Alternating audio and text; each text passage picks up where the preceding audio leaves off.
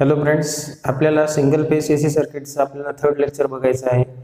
आपण प्रिव्हियस लेक्चरमध्ये part two आपण म्हणतो त्याला. त्यामध्ये आपण बघितलं होतं conversion polar to rectangular rectangular to polar then त्यानंतर आपण त्याच्यामध्ये ॲडिशन सबस्ट्रॅक्शन बघितली होती with rectangular form then multiplication division बघितलं होतं रिगार्डिंग पोलार फॉर्म आणि त्याच्यावर आपण एक्सप्रेशन बघितले होते आणि single phase A C circuit आहे.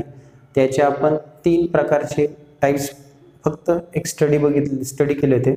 That is purely inductive purely resistive and purely capacitive आणि त्याच्या बेसिसवर आपण रिॲक्टन्स बघितलं होतं राईट देन आता आपल्याला आज नेक्स्ट पॉईंट बघायचा आहे.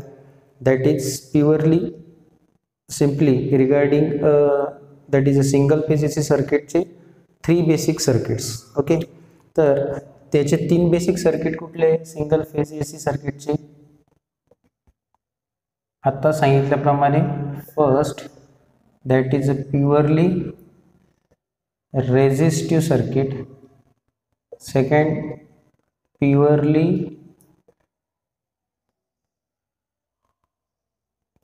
capacitive circuit and third purely inductive circuit. ठीक आहे? हे सगळे काय आहे? सर्किट आहे. तर आपण वन बाय वन एक एक सर्किट काय करणार? स्टडी करणार. ओके? आणि ॲट द लास्ट मी तुम्हाला याचं डिफरन्सच्या फॉर्ममध्ये काय करणार?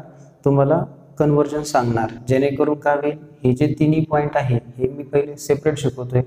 त्यानंतर तुम्हाला ते डिफरन्सच्या फॉर्ममध्ये सांगतो. जेणेकरून तुम्हाला ते काय होईल? ताबडतोब प्रिपेअर होऊन जाईल. ओके? म्हणजे एकदा वाचल्यानंतर तुमचं काय होईल? पूर्ण काम एकाच याच्यामध्ये बनेल. म्हणजे एक तिरमे तीन शिकार. ओके सो बघूया आपण. Okay so first purely resistive circuit आता बघा प्युअरली रेजिस्टिव्ह सर्किट बघत असताना आपल्याला माहिती आहे बघा we know that that is instantaneous voltage instantaneous applied voltage म्हणा किंवा आपलं व्होल्टेज म्हटलं तरी चालेल. ते कुठल्या फॉर्ममध्ये बघा? V is equals to V M sine omega T okay we already known that right आता ह्या व्होल्टेजच्या अक्रॉस मी काय करणार? रेजिस्टिव्ह किंवा रेजिस्टन्स काय करणार? कनेक्ट करणार. बघा आता हा माझा व्होल्टेज म्हणजेच V is equals to V M sine omega T and then across I am going to connect that is resistance R. Okay तर प्युअरली रेजिस्टिव्ह सर्किटची ही डायग्राम आपण काय करणार? कन्सिडर करणार. बरोबर? या व्होल्टेजच्या अक्रॉस आपण काय करतोय? रेजिस्टर कनेक्ट करतोय. ओके देन आता ह्यामध्ये ज्यावेळेस आपण दोन्ही गोष्टी कन्सिडर करणार that is voltage and current voltage असताना बघा तुमचं साईन व्ह्यू अँड करंट असताना तुमची sine wave zero zero with respect to time T with respect to time T having its voltage that is V is equals to V M sine omega T and this is nothing but what V M म्हणजेच काय maximum voltage after that this is I M means I is equals to I M sine omega T right तर simply purely resistive सर्किटमध्ये फक्त आपण काय करतोय? Instantaneous voltage जे आहे आपलं V is equals to V M sine omega T याच्या अक्रॉस आपण काय करतोय?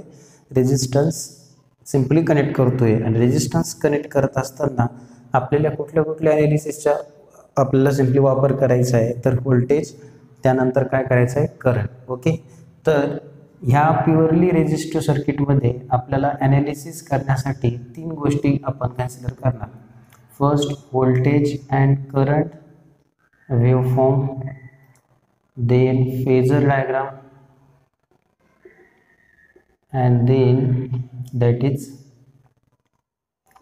power okay across the resistive circuit right तर फर्स्ट काय बघणार आपण? Voltage and current wave form like this after the second phasor diagram and then power. आता voltage and current wave फॉर्ममध्ये आपल्याला ॲक्च्युली बघायचं काय? इक्वेशन बघायचं आहे ठीक आहे? तर एवढा पॉईंट क्लिअर होतो एकदा की प्युअरली रेजिस्टर सर्किटमध्ये फर्स्ट आपण डायग्राम ड्रॉ करतो with the help of that is a voltage हे व्होल्टेज तिघांना सारखं असणार. ठीक आहे? रेजिस्टिव्हला पण इंडक्टिव्हला पण आणि कॅपॅसिटिव्हला पण. ओके देन ह्या फक्त आणि या डायग्राममध्ये इथं फक्त रेजिस्टन्स हा आर आपण रेजिस्टिव्ह सर्किटला इंडक्टिव्ह सर्किटला एल राईट आणि कॅपॅसिटिव्हला सी डायग्राम सेमच राहील फक्त हे त्याचे काय होईल? प्युअरली जे एलिमेंट्स असतील हे चेंज होतील. आणि त्याच्या अक्रॉस त्यांच्या काय होईल? डायग्राम चेंज होतील. आणि बाकीचे ॲनालिसिसच्या जे पॉईंट्स असतील ते ॲज इट इज असतील ओके सो आता आपण फर्स्ट बघूया voltage and current wave form so आपण बघतोय बघा त्या रेजिस्टिव्हमध्ये voltage and current wave form आता व्होल्टेज अँड करंट व्हेव फॉर्ममध्ये बघा आपल्याला माहीत आहे we know that instantaneous voltage that is V is equals to Vm sin omega t. Okay? So again according to the what? Ohm's law. Ohm's law काय सांगतो आपल्याला? Voltage is equals to current in resistance resistance म्हणजे तुम्हाला व्होल्टेजच्या फॉर्ममधलं equation already मिळतं आहे पण करंटचं आहे का? नाही.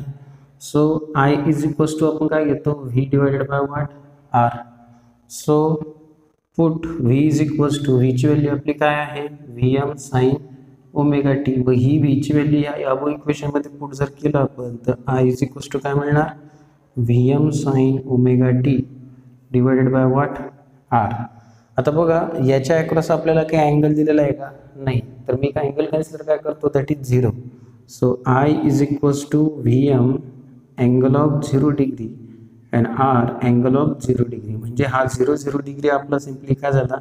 म्हणजे V minimum divide by what R म्हणजेच I max D is equals to V max divide by R म्हणजे हे जे करंट तुम्हाला मिळतं आहे तर हे काय अक्रॉस मिळतं आहे that is a maximum means peak current आपण असं म्हणू शकतो. ठीक आहे? सो हे कशामध्ये येतं voltage and current wave form then आता हे मला जर पोलार फॉर्ममध्ये जर फाइंड करायचं असेल तर पोलार फॉर्म आपल्याला काय सांगतो? I simply is equals to I M at an angle of zero degree म्हणजे ह्या करंट आणि व्होल्टेज वेव्ह फॉर्मवरून आपण कन्क्लुजन हे एकच फाइंड करू शकतो की यामधले जे वेव्ह फॉर्म असतील हे कसे असतील? सायनोसॉडल वेव्ह फॉर्म असतील. कुठले? तर sinusoidal wave form across that is purely resistive circuit. म्हणजे रेजिस्टिव्ह सर्किटच्या अक्रॉस काय असतं? कुठले फॉर्म असतात? That is sinusoidal waveform. Okay so हा फर्स्ट पॉईंट त्यामधला voltage and current waveform. Right then त्यानंतर आपल्याला बघायचं आहे बघा फेजर डायग्राम बघा आता. Phasor diagram is nothing but what that is a phase difference right तर फेज डिफरन्स हा याच्या अक्रॉस किती मिळतोय? झिरो डिग्री मिळतोय किंवा झिरो मिळतोय. म्हणजेच तुमचा फाय हा किती झाला? झिरो झाला. म्हणजेच फाय जर झिरो होत असेल तर तुमचा फेजर डायग्राम हा काय असणार? करंट आय आणि तुमचं व्होल्टेज हे ॲक्रॉस कशाच्या असणार?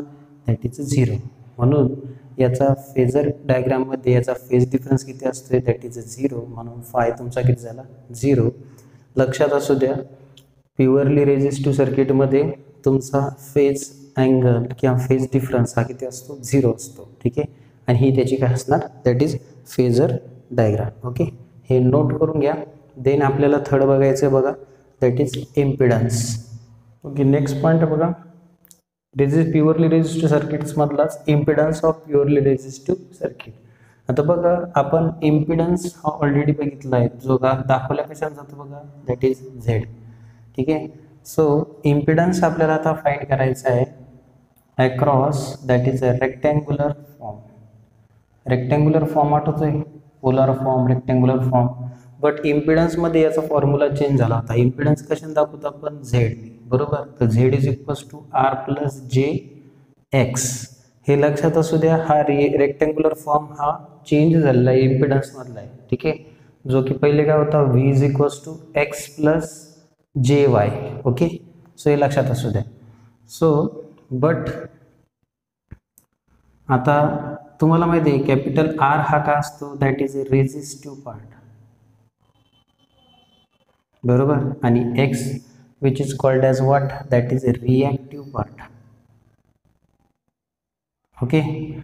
Then in purely resistive circuit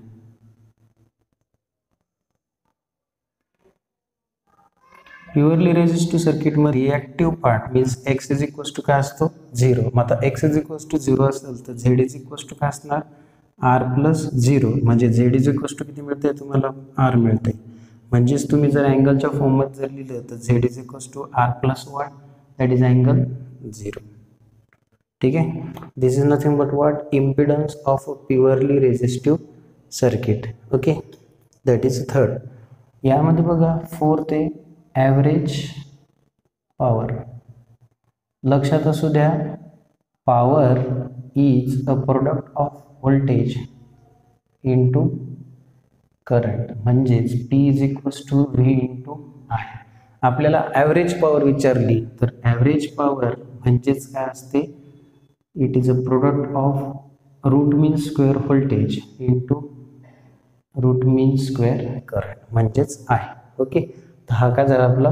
Average power the average power P is equals to V into I which is in the form of R M S okay? Then impedance of pure resistive सर्किटमध्ये आपण rectangular form आपण consider करतोय. Z is equals to R plus j X महत्त्वाचं capital R म्हणजे resistive part then capital X म्हणजे reactive part purely resistive सर्किटमध्ये तुमचा जो रिॲक्टिव्ह पार्ट असतो हा काय असतो? झिरो असतो. म्हणून झेड इज इक्वल्स टू आपल्याला काय मिळतं? आर आणि हे जर आपण अँगलच्या फॉर्ममध्ये जर काही कन्सिडर केलं तर अँगल तुमचा किती असतो? झिरो ॲव्हरेज पॉवरमध्ये तेच product of voltage and current in the form of what root mean square okay note करून घ्या. पॉईंट बघा. Energy energy in purely resistive circuit बघा प्युअरली सर्किट प्युअरली रेजिस्टिव्ह सर्किटमध्ये एनर्जी ही कधी कशी असते? युनि डायरेक्शनल असते. युनि डायरेक्शनल म्हणजेच काय? ही फ्लो होते source to that is load सोर्सपासून load काय होते? फिरते. दुसरी गोष्ट याच्यामध्ये एनर्जी ही रेजिस्टन्समध्ये कधी स्टोअर होत नाही. नॉट स्टोअर एनर्जी मग आता रेजिस्टन्स जर एनर्जी जर स्टोअर करत नसेल तर तो काय करणार? बाहेर फेकणार. म्हणजेच काय करणार? डेसिपिएटेड करणार. राईट डेसिपिएट करणार in the form of what that is a heat म्हणजे ज्याचा यूज कशामध्ये होतो? इलेक्ट्रिकल अप्लायन्सेस इलेक्ट्रिकल अप्लायन्सेस म्हटलं तर कुठं असलं? That is heater then geyser after that simply coil okay so ही त्याची काय झाले? एक्झाम्पल झाली रिगार्डिंग वॉट एनर्जी म्हणजे प्युअरली रेजिस्टिव्ह सर्किट ह्यामध्ये तुम्ही तीन पॉईंटचा विचार न करता आणखी जास्त पॉईंट बघताय. फर्स्ट आपण बघतोय voltage and current right purely resistive सर्किटमध्ये फर्स्ट आपण सर्किट डायग्राम बघतो त्याच्या अक्रॉस व्होल्टेज आणि करंटचे वेव्ह फॉर्म बघतो.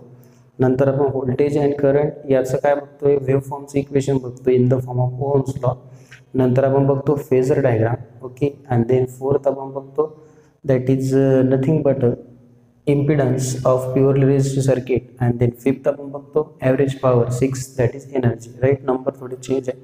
हे लक्षात असू दे ओके कारण एक नंबर कशात घेतला आपण. दॅट इज डायग्रामचा ओके तसे पाहिले तर ॲक्च्युली किती पॉईंट्स आहे? फाईव्ह पॉईंट्स ओके पण विचारात फक्त तीनच कन्सिडर केलं जातं. That is voltage current first point second phasor diagram and third point that is regarding what that is power right so हे लक्षात असू द्या. नोट करून घ्या. एवढं हे काय आपलं? प्युअरली रेजिस्टिव्ह सर्किट आहे ओके नेक्स्ट आपल्याला काय बघायचं आहे आता? प्युअरली इंडक्टिव्ह सर्किट नोट करून घ्या. सेकंड बघा that is a purely inductive circuit आता प्युअरली इंडक्टिव्ह सर्किटमध्ये मी तुम्हाला सांगितलं की डायग्राम तुम्हाला फक्त इंडक्टन्स काय करायचं आहे त्यामध्ये रिप्लेस करायचं आहे. ठीक आहे? किंवा रेजिस्टन्स रिप्लेस करा. ओके बघा अगेन वी नो दॅट आपल्याला माहीत आहे काय? That is instantaneous supplied voltage instantaneous supply voltage काय आहे आपल्याकडं? V is equals to V M sine omega T हे सर्वांना सारखंच आहे. ठीक आहे? मग आपण काय करणार? ह्या व्होल्टेजच्या अक्रॉस आता काय लावणार? इंडक्टर लावणार. ओके? दॅट इज यल याला आपण म्हणणार V M sine omega T okay? आता ह्या इंडक्टन्सच्या अक्रॉस काय असतो? एक self induced E M F असतो. तुम्ही लिहिला नाही तरी चालतो तो. ठीक आहे in the form of small E that is minus L D I upon D T हे तुम्हाला माहीत असेल बघा self induce E M F लिहिलं तरी चालतं नाही लिहिलं तरी चालते. ठीक आहे आता महत्त्वाचं बघा. आपण आता पहिला पॉईंट काय बघणार? Voltage and current of waveform first आपण काय बघितलं होतं पहिले फॉर व्होल्टेज अँड करंट आता बघा ह्या व्होल्टेज अँड करंटमध्ये first again we know that instantaneous voltage काय instantaneous voltage that is V is equals to V M sine omega T right again we know that omega is equals to what? 2 pi f. Right? So put it in equation V is equals to V M sine आता ओमेगाला काय replace करणार? To by F T हे समजतंय का? फक्त आपण ओमेगाला काय केलं इथं? व्हॅल्यू पुट केली काय? To pi F. हे कशाचं इक्वेशन झालं? फक्त व्होल्टेजचं. आता त्याचप्रमाणे आपण करंटचं पण घेऊ शकतो. Okay? So again instantaneous current I is equals to I M sine omega T right आता हा आय म्हणजेच काय? That is a instantaneous current बरोबर? आय एम म्हणजेच काय? That is a peak current. Okay? आता बघा मग पुन्हा ओमेगा इज इक्वल्स टू काय असतं आपलं? टू पाय एफ म्हणजे I is equals to I M sine two pi F T बरोबर? पण एक महत्त्वाचं यामध्ये विचार विचारात घ्यावं लागतं. That is nothing but what angle okay? So I is equals to I M sine two pi F T minus pi by two. आता हे मायनस पाय बाय टू का बरं घेतलं? याचं उत्तर तुम्हाला थोड्या वेळात मिळेल. ठीक आहे? यामध्येच. कारण काय असतं? हा लॅग करतो. अँगल काय करतो? लॅग करतो. म्हणून आपण याला मायनस करतो. ठीक आहे? लीड जर केला तर काय करणार? प्लस करणार. ओके तर हे पुढं आणखी तुम्हाला होईल. पण इथंपर्यंत मी जे सांगतोय हे कळतं आहे का? ठीक आहे? सो प्युअरली इंडक्टिव्हमध्ये फर्स्ट इन्स्टंटेनियस व्होल्टेज त्यानंतर त्याचे डायग्राम देन त्याचे व्होल्टेज अँड करंटचं व्होल्टेजचं इक्वेशन करंटचं इक्वेशन करंटमध्ये हा एक महत्त्वाचा इम्पॉर्टंट पॉईंट फक्त यामध्ये वेगळं आहे. काय? फाय बाय टू काय करतो आपण? सबस्ट्रॅक्ट करतो सबस्ट्रॅक्ट काय करतो? तर हे तुम्हाला थोड्या वेळातच आन्सर मिळून जाईल. ओके हे नोट करून घ्या. म्हणजे व्होल्टेज आणि करंट बघितलं ओके त्याचं आपलं काय कन्क्लुजन जसं आपण बघितलं फर्स्टमध्ये कन्क्लुजन काय होतं की प्युअर रेजिस्टमध्ये हा सायनसॉडल वेव्ह क्रिएट करतो. यामध्ये बघा कन्क्लुजन फर्स्ट काय? I M is equals to V M upon W L W L काय इंडक्टिव्हसाठी ठीक आहे? आणि याचा फेज अँगल किती होता? Pi by two minus pi by two not a pi by two that is minus pi by two आणि peak value of I peak म्हणजे काय? मॅक्सिमम व्हॅल्यू काय असेल? बघा आपण ओम्सला वापरला होता. I is equals to V by R बरोबर? तर इथं तुमचा आर हा रिप्लेस होणार डब्ल्यू एल बरोबर? आणि हा तुमचा मॅक्सिमम करंट म्हणजेच I M they V M okay हे फक्त काय होईल? आता डिवाइडमधल्याच गोष्टी चेंज होत जाईल. राईट हे एक नोट करून घ्या. यानंतर आपल्याला बघायचं याचा फेजर डायग्राम ओके आता ह्या फेजर डायग्राम बघा. नेक्स्ट पॉईंट ह्या फेजर डायग्राममध्ये मी तुम्हाला सांगितलं होतं की काय होईल? तुम्हाला जो मायनस नाईन्टी डिग्री का घेण्यात आलं ते यामध्ये समजेल. बघा आपलं व्होल्टेजचं एक इक्वेशन आहे. राईट किंवा वेव्ह फॉर्म आहे. सरळ हे झिरोपासून स्टार्ट होते बरोबर? आणि काय करते एक वेवफॉर्म कंप्लीट करते. त्याला V is two V M sine omega T म्हणतो. आणि दुसरी जी बघा करंटची तर ही काय होते स्टार्ट ही बिलो झिरो होते. बरोबर आहे? म्हणजे हे काय करते लॅग करते लॅग ठीक आहे मागून चालू होते. म्हणजेच काय? तुमचा जो आहे थिटा ओके थिटा लॅक्स किंवा current lags behind that is voltage V म्हणून हे काय घेतो आपण? मायनस नाईन्टी डिग्री घेतो. ठीक आहे? तर हे लक्षात असू द्या. आपण जे इक्वेशन घेतलं ना V is equals to V M sine two by F T minus phi by two तर हे मायनस फाय बाय टू का आलं? ड्यू टू लॅग ठीक आहे? हे लॅग तयार करतात कॅपॅसिटीमध्ये काय करणार? लीड करणार. ठीक आहे? तर हा एक महत्त्वाचा पॉईंट त्यालाच आपण डायग्रामच्या फॉर्ममध्ये आपण जर ड्रॉ केलं तर तुमचा हा फाय अँगल काय होतो? मायनसच्या फॉर्ममध्ये चालला जातो ठीक आहे? तर हा तुमचा minus phi by two okay so this is a phasor diagram next point बघा दॅट इज अ सिम्पली आपण म्हणू शकतो power okay power in inductive circuit आता पॉवरचं तुम्हाला इक्वेशन माहीत असेल. राईट इकडेच घेऊन टाकू.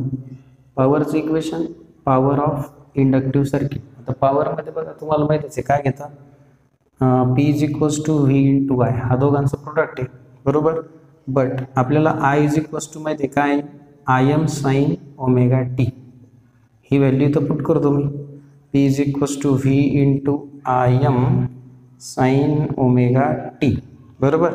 आता मी काय करतो याला मल्टिप्लाय करतो. Multiply and divide by two म्हणजे पी इज इक्वल्स टू काय होणार? V into I M sine omega T into two divide by two म्हणजे मी मी याला असं लिहू शकतो का? V by two adjustment I M as it is sine हा जो टू इथं लिहितो अँगलच्या फॉर्ममध्ये two omega T okay this is what that is a power of inductive circuit ठीक आहे? समजून घ्या ही. सोपं आहे फक्त आपण याला काय करतोय? मल्टिप्लाय डिवाइड बाय काय करतोय? टू आणि हे काय? लॅक करतं that is minus ninety right आता यानंतर बघा that is impedance of purely resistive circuit similarly impedance of resistive circuit तर आपण रेक्टँग्युलर फॉर्ममध्येच हा काय करणार आहे? इम्पिडन्स घेणार आहे. Rectangular form impedance impedance Z is equals to what R plus j X ठीक आहे? आता आपण यूज काय करतोय? प्युअरली इंडक्टिव्ह आता प्युअरली इंडक्टिव्ह म्हटलं तर तुमचा रेजिस्टन्स काय असतो त्यामुळे झिरो राईट रेजिस्टिव्ह पार्ट म्हणतो आपण. आणि एक्स हा रिप्लेस कशाला होणार? एक्सेल म्हणजे काय करणार? ह्या याला चेंज करणार आरला झिरो करणार. Z is equals to zero plus j X L म्हणजे झेड इज इक्वस टू काय झालं? जे एक्सेलच झालं ना? आणि इन द फॉर्म ऑफ आपण अँगल जर घेतलं तर Z is equals to j X L angle of what that is ninety degree आता हा नाईंटी पॉझिटिव्ह झाला. ठीक आहे? कॅपॅसिटीमध्ये काय होईल तो? निगेटिव्ह ओके तर इथं मायनस करायचा नाही. हा लॅक्स करतोय ना त्याचं उलटं घ्यावं लागतं. मायनस याच्यामध्ये काय घ्यायला लागतं? प्लस इम्पिडन्समध्ये नंतर बघा ॲव्हरेज पॉवर ॲव्हरेज पॉवर ही जी इंडक्टिव्ह सर्किटची आहे okay inductive circuit average power is equals to किती असते? झिरो म्हणजे P average is equals to हे काय असतं? झिरो हे एक महत्त्वाचं. ठीक आहे? असा काय आहे तुमचा? That is nothing but purely inductive circuit okay त्यानंतर काय? Purely capacitive circuit okay next बघा. थर्ड प्युअरली कॅपॅसिटिव्ह सर्किट आता प्युअरली कॅपॅसिटी सर्किटमध्ये पुन्हा इन्स्टंटेनियस व्होल्टेज काय असतं आपलं instantaneous voltage V is equals to V M sine omega T okay त्यानंतर आपण काय बघतो? व्होल्टेजच्या अक्रॉस कॅपॅसिटर आपण अटॅच करतो. दॅट इज अ सी म्हणजे व्ही इज इक्वल्स टू काय आलं? V M sine omega T बरोबर? V M sine omega T हे आपण ह्या व्होल्टेजच्या अक्रॉस सी हा आपण अटॅच केला. आता यामध्ये एक महत्त्वाचं आहे बघा यामध्ये ज्यावेळेस वेव्ह फॉर्म जनरेट होते ठीक आहे?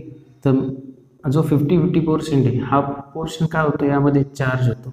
हा काय होतो? डिस्चार्ज होतो. पुन्हा हा काय होतो? चार्ज होतो आणि हा काय होतो? डिस्चार्ज आता हे का होतं? बघा ज्यावेळेस कॅपॅसिटी कॅपॅसिटर चार्ज होतो. म्हणजेच त्यावेळेस तुमचं व्होल्टेज काय वाढलेलं आहे. इथं तुमचं व्होल्टेज वाढलेलं आहे. हा पोर्शनला तुमचं काय होतं आहे नाईन्टी नंतर कॅपॅसिटर काय करतोय? डिस्चार्ज होतोय. काय होतंय? डिस्चार्ज किंवा ज्यावेळेस व्होल्टेज हे कमी होईल तेव्हा. ओके सो यामध्ये महत्त्वाचं हे एक नवीन एक येतं चार्ज आहे discharge means charging and discharging हे कॅपॅसिटीमध्ये कॅपॅसिटरमध्ये तुम्हाला तर माहीतच आहे.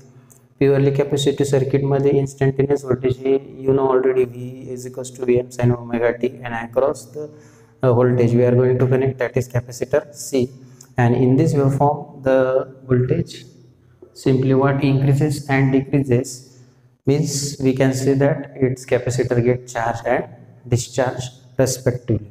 Okay? Next बघा आपल्याला बघायचं equation of voltage and current आता इक्वेशन ऑफ व्होल्टेज तुम्हाला ऑलरेडी माहितीच आहे. काय असणार ते? V is equals to V M sine omega T बरोबर? Omega is replace by what that is a two pi F right इथं लिहून घेऊ आपण वाटलंच तर. Voltage and current waveform which instantaneous voltage काय? V M sine omega T आता omega replace करायचं पुन्हा काय? टू पाय एफ म्हणजे आपली पुन्हा कॅसेट सारखीच आहे. टू पाय एफ टी बरोबर? हे तुमचं इन्स्टंटेनियस व्होल्टेज झालं. करंट काय करणार? I is equals to I M sine omega T यामध्ये आता काय करणार? नाईंटी डिग्री ॲड करायचा का? लीड होतो ना. म्हणून. म्हणून I is equals to I M sine two pi F T plus nine pi by two म्हणजेच काय? नाईन्टी याच्यामध्ये प्लस का आला? आता समजतं. काय करतो? तो लीड करतो. ओके तर हे लीड आपल्याला फेजरमध्ये समजेल. राईट एवढं समजत असेल तर यस सिम्पली याला नोट करून घ्या. ओके पॉईंट सोपे. शेवटीला तुम्हाला ते डिफरन्सच्या फॉर्ममध्ये समजेलच. ओके सो नोट दिस या व्होल्टेज अँड करंटचं कन्क्लुजन काय येईल बघा हो आता. कन्क्लुजन हे एकच येणार. काय? की हा प्युअरली काय सायनासॉडल वेवफॉर्म आहे. विथ सेम फ्रिक्वेन्सी कशामध्ये? कॅपॅसिटीमध्ये. बरोबर? दुसरं याचा जो फेज अँगल आहे हा कसा आहे? पॉझिटिव्ह पाय बाय टू आहे. बरोबर? नंतर आपण बघतो काय? Peak value. पीक व्हॅल्यू कोणाची? आय एमची जसं आपण ओम्सला वापरला होता V is equals to I two R I is equals to V by R आता हा रेजिस्टिव्ह आहे का? नाही हा काय कॅपॅसिटी कॅपॅसिटी असल्यामुळं हा काय असणार? I M is equals to V M divide by R is replace by what that is a omega C okay so किंवा एक्स सी पण म्हणू शकतो not omega C that is X C okay sorry for that that is I M is equals to V M upon X C this is equation what peak value of I M okay next point that is simply impedance impedance म्हटलं तर Z is equals to काय असणार? R plus जे x बरोबर? आता हा purely capacity आहे.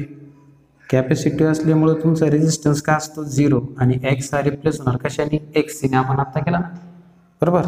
तर simply Z is equals to zero plus what J X C म्हणजे zero Z is equals to X C आता इथं लक्षात असू द्या. इन द फॉर्म ऑफ ज्यावेळेस अँगल लिहिशाल तुम्ही. तर X C e at an angle of minus ninety degree घ्यावं लागेल. म्हणजे ह्या नाईन्टीचं काय करावं लागणार?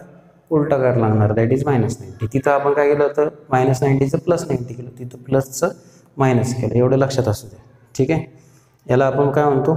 इम्पिडन्स नंतर बघा करंट आणि व्होल्टेजची वेवफॉर्म आहे. म्हणजे हे निगेटिव्ह काय येतं? तर लक्ष द्या.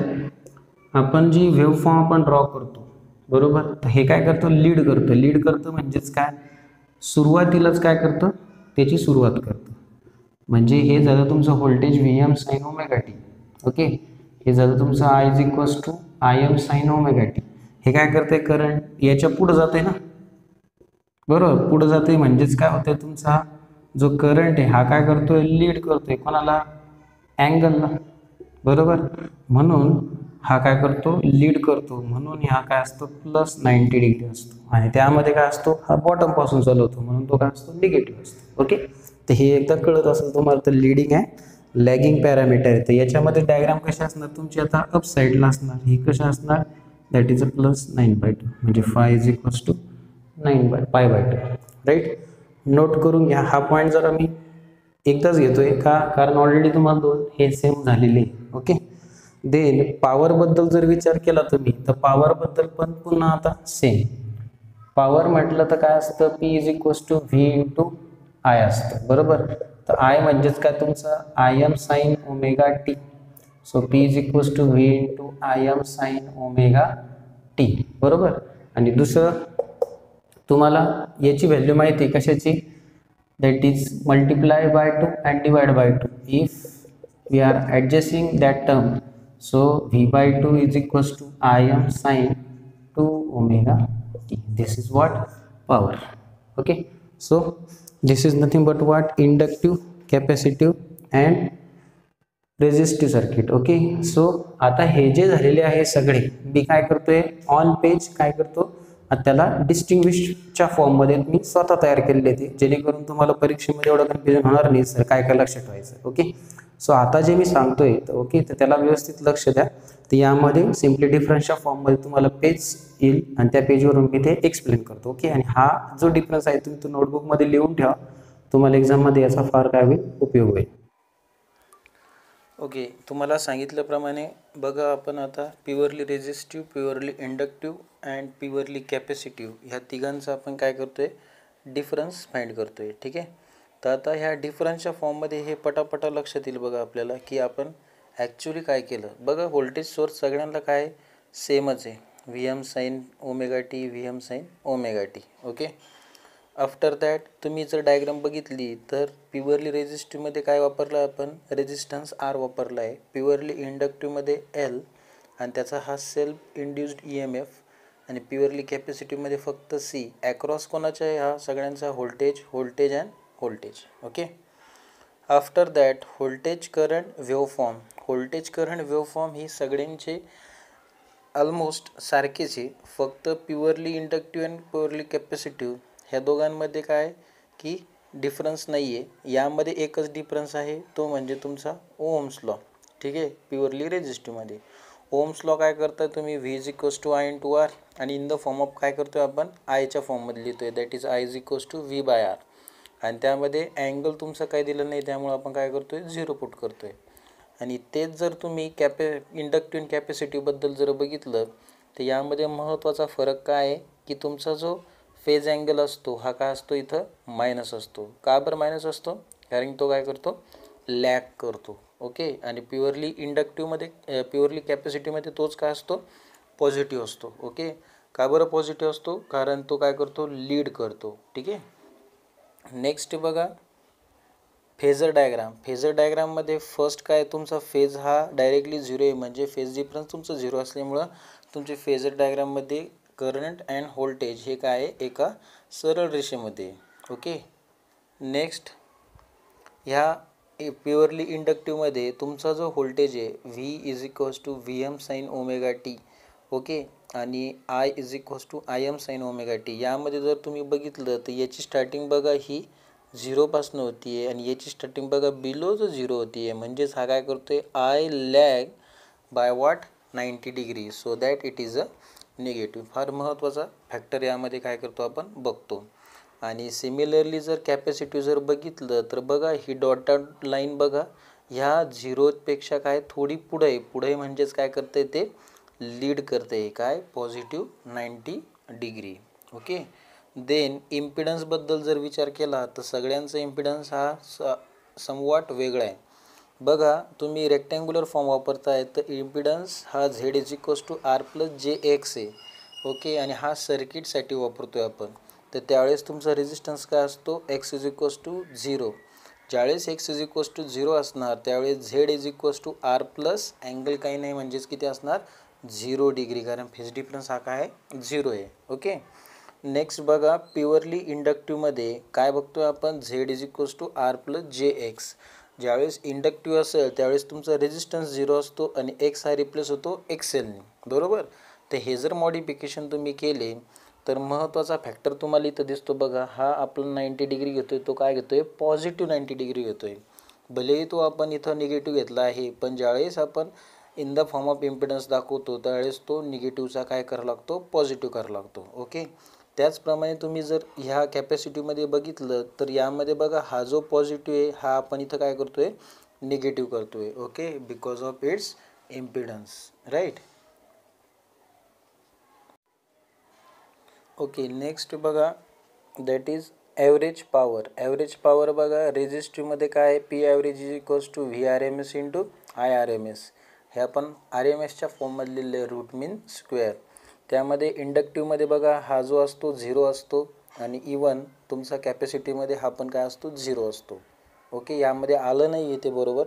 पण तुम्हाला मी ओरली सांगतो हा काय असतो झिरो असतो. यामध्ये पण काय असतो झिरो असतो. ओके त्यानंतर peak value I M peak value म्हणजे मॅक्सिमम व्हॅल्यू ठीक आहे? रेजिस्टन्स आहे म्हणून काय असणार? म्हणजेच ओम्सला ज्यावेळेस आपण वापरतो V is equals to I into R तर आय इज इक्वस टू काय असतं? V upon R. तर हा जो आर आहे हाच फक्त काय करतो यामध्ये चेंज करतोय. तो एक्सेल इंडक्टिव्हमध्ये म्हणून एक्सेल झाला. आणि नंतर हा इथं काय झाला? एक्स सी झाला. ठीक आहे? हा इथं आला नाही बघा. V M upon X C okay C capacity इथं काय तुमचा? एक्सेल ठीक आहे? हे डिफरन्स लक्षात ठेवा. नंतर पॉवरमध्ये बघा. हे पॉवरचा formula P is equals to V into I in the form of R M S असतो. आणि जर इंडक्टिव्हमध्ये जर तुम्ही बघितला तर P G equals to V into I पण आयची व्हॅल्यू तुम्हाला माहीत असते काय असते ती? I M sine omega T he value तुम्ही काय करता? ह्या आयमध्ये पुट करता.